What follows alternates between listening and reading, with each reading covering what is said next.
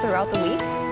Well, Delaney, we can't rule it out tonight at least. We are not done with this storm system, though we thought we might have with that little hiatus throughout the afternoon. But look at this hail. This was just from today. Not great conditions to play in.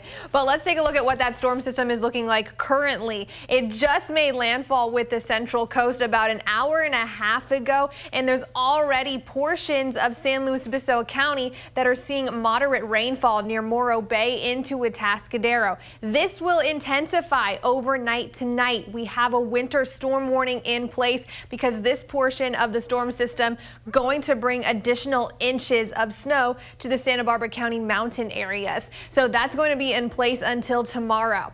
Also throughout this storm system the last couple of days, we've had gusty winds churning up the ocean, which means we have a high surf advisory in place for portions of San Luis Obispo County with up to 16 feet breaking waves dangerous rip currents, breaking waves, elevated surf to three feet expected, six feet expected in some areas down on Santa Barbara County. Now, what is going on with that frontal boundary making its way already to the east of us, wreaking havoc in portions of Salt Lake City in Utah, but the low pressure system that was trailing behind it is what's bringing in that additional rainfall overnight tonight. If we track that over the next several hours, you'll see portions of heavy rainfall right through Santa Barbara County area. This right here is that snow that I was talking about that's possible throughout the Santa Barbara County mountain areas. And in these pockets of red and orange, yellow, heavier rainfall, we could be seeing thunderstorms pop up, giving us pockets of possible hail as well, like we saw in that video just a minute ago.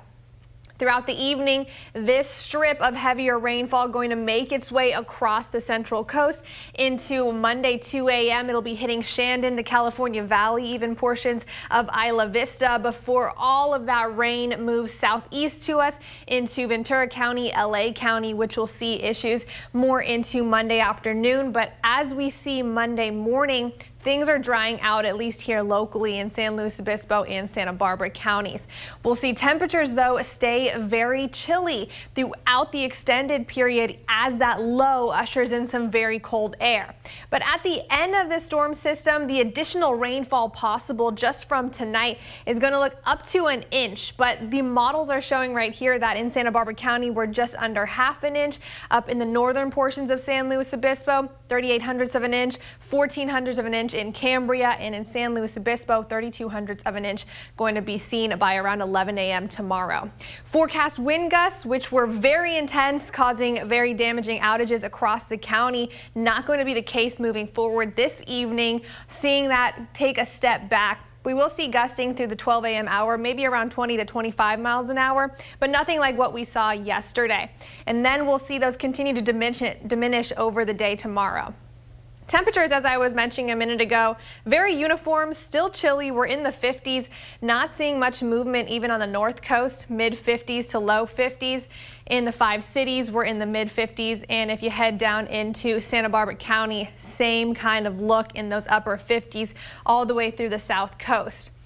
And as we look into the extended forecast, there is a chance for rain possible by next weekend once again. We'll be monitoring that as it gets closer. But as for temperatures, something to keep in mind, the overnight lows, especially in our interiors, going to be very cold. Frost and freeze issues also possible once we hit Tuesday night into Thursday night. So that's something to take note of if you are going to be in town all the way through Santa Maria in those low 30s. And we won't see temperatures rebound all the way through the seven day forecast. Dusty.